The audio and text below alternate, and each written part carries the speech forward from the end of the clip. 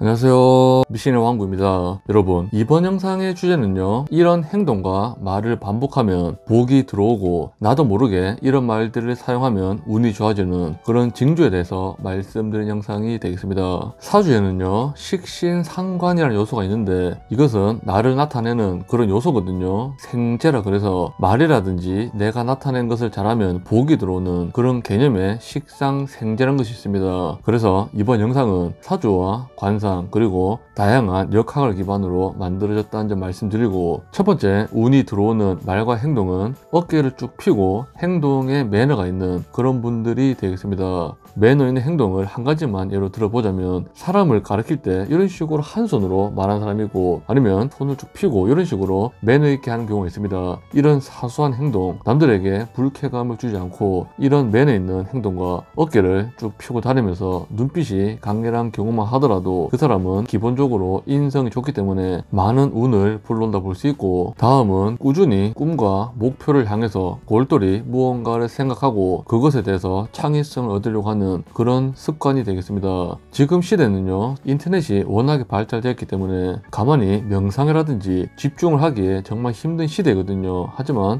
본인의 꿈을 향해서 상황이 지금 좋든 안 좋든 꾸준히 본인의 목표를 향해서 집중할 수 있는 그런 행동을 익히면 익힐수록 굉장히 굉장히 복원될 수 있고 다음은 도움이 되는 그런 취미 생활이라든지 꾸준한 행동을 반복하는 경우가 되는데 예를 들어서 운동이 좋아서 배드민턴을 치거나 골프를 하거나 십자수를 하거나 노래를 연습하거나 그런 식으로 남들은 알아봐 주지 않지만 나 혼자 좋아서 어떤 취미 생활을 계속 반복하면 그것이 쌓여서 언젠가는 좋은 기운을 불러오거든요. 이 사주에는 정말 재미있는 것이 있는데 생, 즉 어떤 것이 새롭게 태어나기 전에는 반드시 절이라는 모든 것이 끊어지 는 그런 단계를 거친다 할 수 있거든요. 세계의 위대한 작곡가라든지 소설가 그런 분들은 정말 인생에서 힘든 굴곡의 기간을 지나서 빛이 나는 것처럼 이것은 또한 물상대체라 그래서 안 좋은 시기에 본인에게 운을 올려주는 그런 행동들을 계속 반복할수록 결국에는 본인에게 득이 되어서 도움이 된다 할 수 있기 때문에 다음은 이 식상을 가장 잘 쓰는 방법인 말인데요. 말을 꾸준히 긍정적인 말들을 하면 굉장히 많은 복을 불러오는 그런 것을 알 수 있습니다.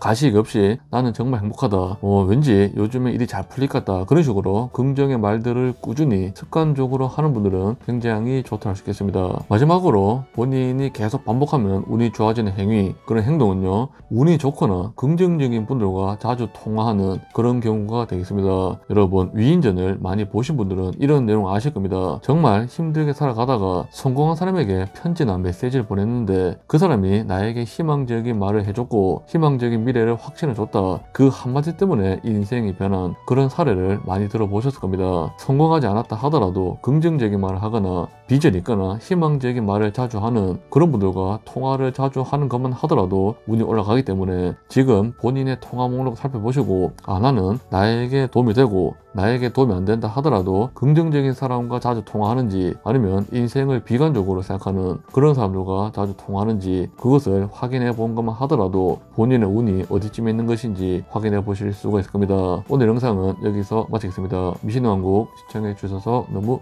감사합니다.